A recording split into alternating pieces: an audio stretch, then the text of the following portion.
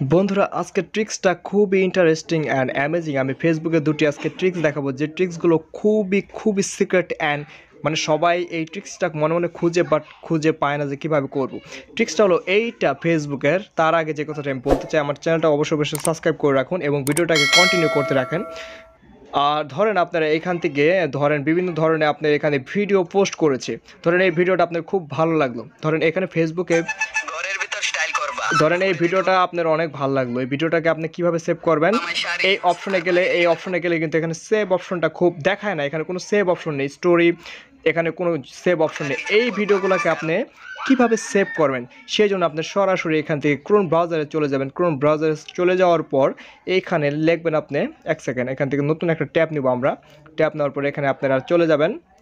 Chrome ব্রাউজারে এখানে গুগলে গিয়ে লিখবেন আপনারা W W dot Facebook dot com direct লিখে দেবেন অ্যাপবি ডট সিও এম এই অ্যাপবি ডট কম লিখে আপনারা এখানে সার্চ করবেন। সার্চ করার পর এইখানে একটু ওয়েট করবেন। মানে আপনারা এই ওয়েবসাইটটি চলে আসবে। এখান থেকে ক্রিয়েটও করে নিতে পারেন। এখানে অনেকটা অ্যাকাউন্ট আপনারা লগ করে নিতে পারেন খুব সহজে।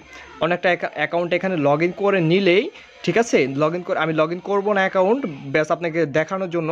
এখানে লগ করে নিলে ঠিক ফেসবুকের মতো এইরকমভাবে অপশন চলে আসবে। তখন আপনি যে কোনো হিস্টোরিতে যদি আপনি চাপ দেন ট্যাপ দিলেন ট্যাপ দেওয়ার সাথে সাথে ধরেন এই হিস্টোরিটা আপনি মানে সেভ করবেন।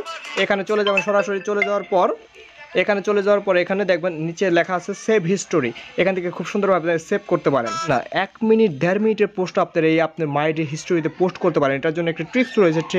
সেই ট্রিক্সটা হলো এখানে চলে যাবেন, সরাসরি চলে যাওয়ার পর ধরেন এইখানে আইটিতে চলে যাবেন আপাতত। আইটিতে চলে যাওয়ার পর এইখানে ক্লিক করবেন ফটোতে ক্লিক করবেন। আমরা তো ডিরেক্টলি কী করি? এখান থেকে ডিরেক্টলি চাপ দেওয়ার পর এখানে ফটোটাই তো দিয়ে দিই সেন্ড করে। এটা করবেন না আপনি। আমি দেখাচ্ছি আবার। একটু স্ক্রিনটা সাদার জন্য দেখা গেল না। এখানে চলে যাবেন দুই মিনিট আঠাশ সেকেন্ডের স্টোরিটা আপনারা এখানে অ্যাডিট অপশনে ক্লিক করবেন। এডিট অপশনে ক্লিক করার পর এই যে দেখতে পাচ্ছেন ইউর হিস্টোরি ইউর স্টোরি এখানে যদি আপনার চাপ দিয়ে দেন, তাহলে আপনার স্টোরিতে অলরেডি সেন্ড হয়ে যাবে। আর যদি এখানে চাপ দেন, তাহলে তার কাছে সরাসরি চলে যাবে। ভিডিওটা কিন্তু খুবই অ্যামেজিং আমরা দেখি অনেকেই হিস্টোরি তিন মিনিটের মতো পোস্ট করে। আজকে ভিডিওতে আপনিও পোস্ট করতে পারবেন যে এক ঘণ্টার উপরে স্টোরি পোস্ট করতে পারবেন। খুব ইজি এবং সিম্পল ট্রিক্স ভিডিওটাকে লাইক করবেন সাবস্ক্রাইব করবেন। ধন্যবাদ সবাইকে।